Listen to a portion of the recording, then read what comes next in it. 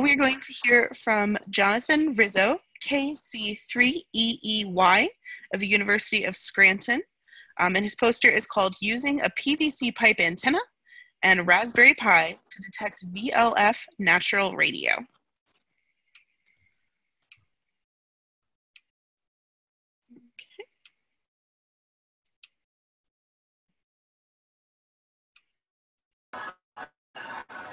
Hi, my name is Jonathan Rizzo, KC3EEY, VLF enthusiast and electrical engineering student at the University of Scranton. Low frequency natural radio is an exciting field to study and learn about. Naturally occurring radio emissions in the VLF band, such as spherics, whistlers, chorus, triggered emissions, and hiss, offer clues and hints to understanding the ionosphere, magnetosphere, and influence of solar weather on Earth. Detection of spherics allows for precise lightning location, the time group arrival method, using a network of VLF receivers.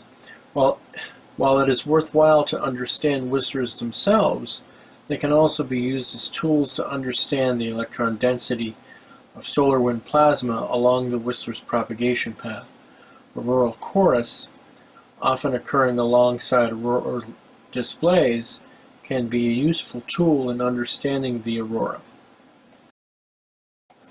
Amateur radio operation can be done at VLF. At 8.27 kHz, often called a dreamer's band by the VLF community, continuous wave and a digital mode called coherent BPSK are used for communications over over 1,000 miles away, often at extremely low power levels. Successful transmissions of either continuous wave and messages from 5 to 100 characters have been done by amateurs within the past 10 years. As you could see here, for the transmission setups, the loading coils are quite large. VLF enthusiasts have been using VLF receivers for many years to listen to and record natural radio events. Power line interference has always been the enemy to VLF natural radio, so listeners would often have to venture out in remote areas, tens of miles away from power lines, to be able to capture natural radio events. As of late, automated capture of VLF events is possible using a PC with the sound card as a VLF SDR, using open source software called VLF-RX Tools, written by VLF enthusiast Paul Nicholson. The software records the VLF signal GPS timestamps it, filters out the 50 or 60 Hz main sound with the tracking notch filter, detects whistler and chorus events, as well as sudden ionospheric disturbances through VLF transmitters, and allows for live listening and recording on a hard drive. Because VLF receivers require an earth ground for sensitivity, 50 or 60 Hz main sound can be injected into the receiver from a PC sound card or power supply. For VLF audio, a minimum of two uh, audio isolation transformers are required to prevent main sound injection, but the VLF receiver still has to be powered by a battery. In this project, the VLF receiver is used as powered with a regular power supply. This simplifies the installation, allowing the use of a common Cat5 cable. This is made possible by an audio isolation transformer and an isolated DC-to-DC -DC converter operating at a frequency much higher than the VLF band. The receiver can be constructed to fit inside a PVC pipe using foam pipe insulation with copper tape along the length of it for the antenna element. The foam insulation prevents the antenna assembly from becoming microphonic and having winds, causing noise. At the other end, instead of using a PC and a sound card as the VLF SDR, a Raspberry Pi 3B with audio injector sound card is used for low power and compact VLF reception and analysis.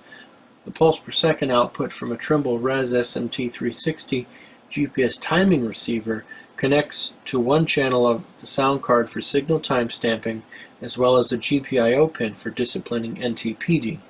VLF-RX Tools runs on the Pi and performs all automated functions of capturing, timestamping, filtering, event detection, recording, and streaming utilizing named circular buffers between various utility programs.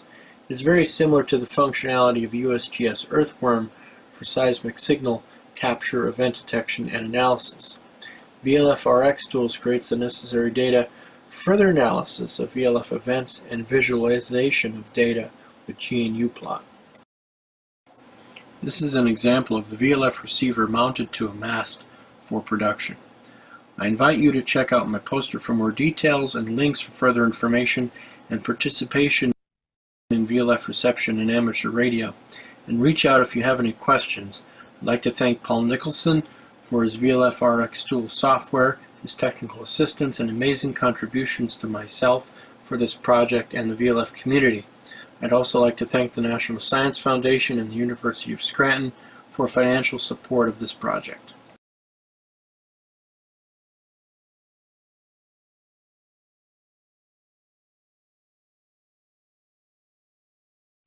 Thank you, Jonathan. Does anybody have any questions? Yeah, this is N0AX. I have a question. Um, the uh, the Dreamers band. That sounds really kind of interesting. Um, of course, we've also got the 2200 meter band now and um, uh, 630. And um, I'm wondering if there is a any group trying to measure measure or receive the same thing on those three different frequencies to see what kind of correlation exists. Um, and second point is I think it would be terrific if you would write up a summary article of these different phenomena that you can hear at VLF, and we can get that either in QST or QEX or someplace so that hams can learn what there is to listen to down there.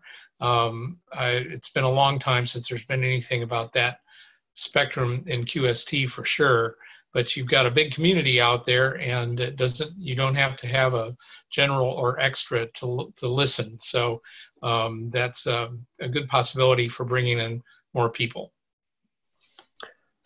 Um, to uh, answer your uh, first uh, question um, as far as i know i haven't I, I was actually looking for that and i really didn't find anything.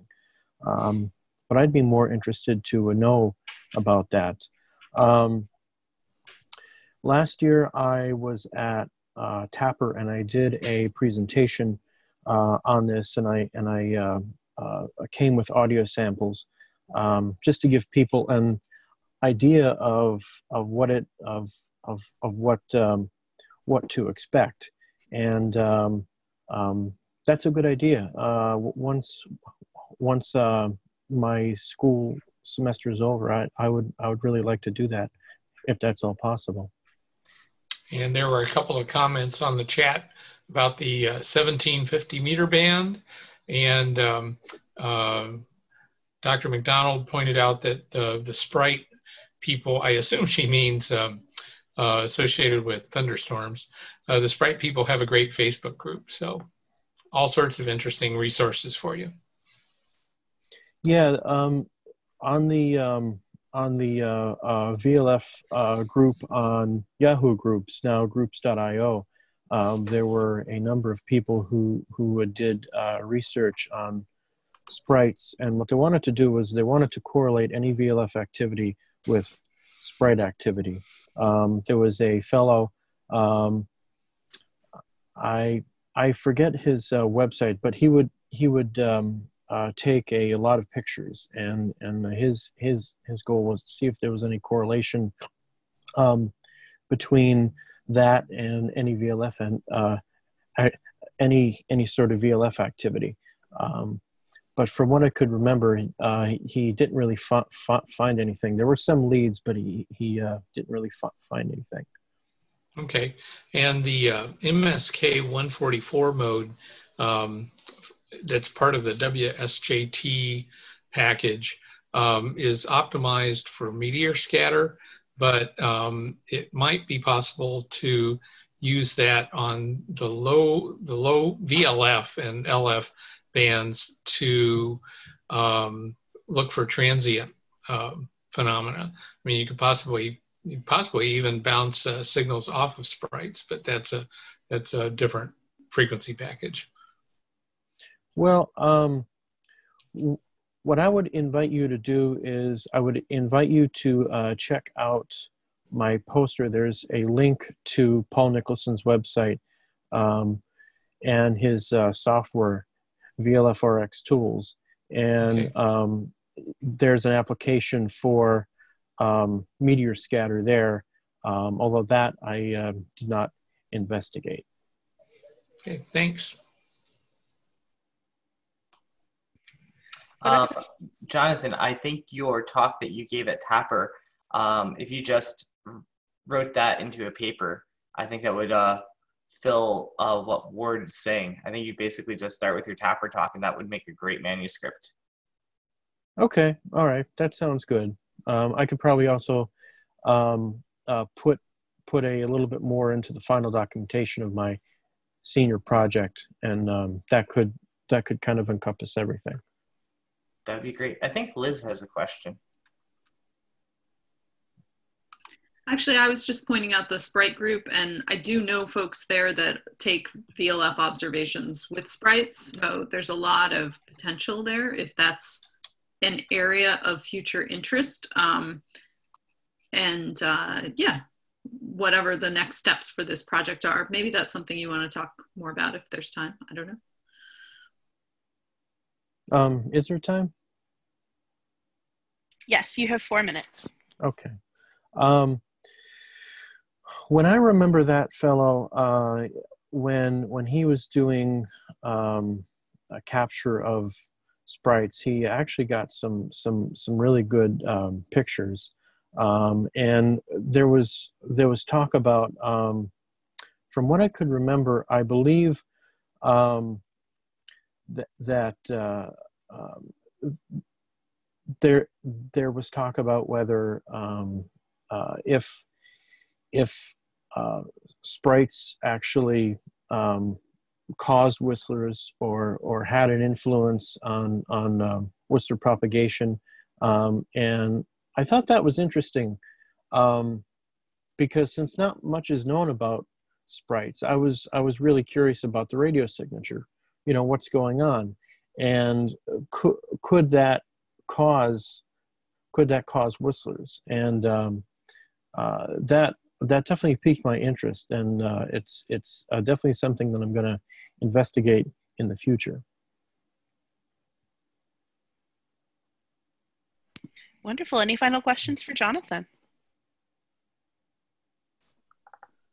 All right. Well, thank you so much, Jonathan. That was a wonderful presentation. Thank you